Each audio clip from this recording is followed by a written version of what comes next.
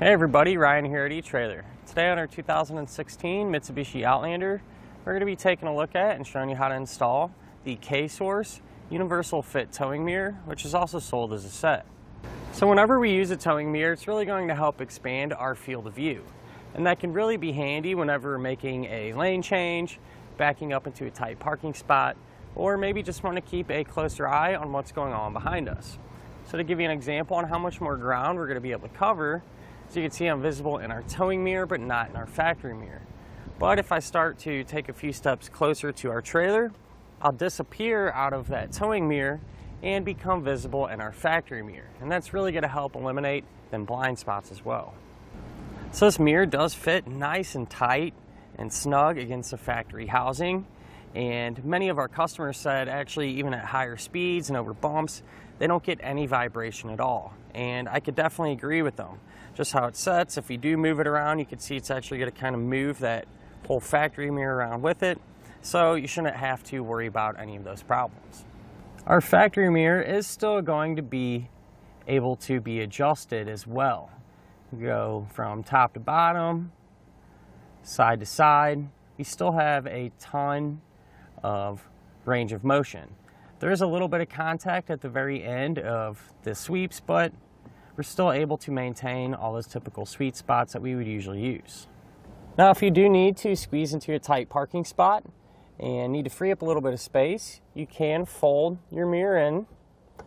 There is a little bit of contact there, but for the most part, you'll be able to get it completely in. The straps that actually hold the towing mirror on are really heavy duty and do a great job of keeping everything nice and tight. There's also going to be some rubber feet, if you will.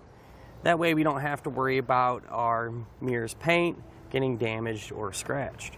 The towing mirror lens itself is going to be completely adjustable, side to side, up and down. You can even rotate it 360 degrees if you need to, so you'll be able to find a spot that works great for you. Now, since these are universal, chances are pretty good too, if you happen to have another vehicle in the household, that they're probably going to work with it. And since they are so easy to put on and take off, it's not a big deal or a big hassle to switch them around if you need to. Speaking of which, let's go ahead and put one on together now.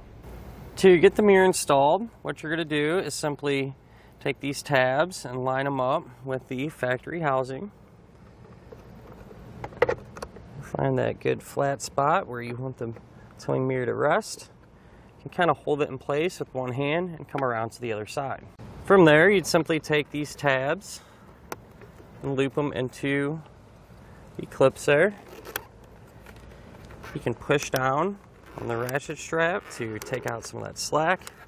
And then if you need to, these actually ratchet, so you can crank down on them once or twice to eliminate all the slack that's in it.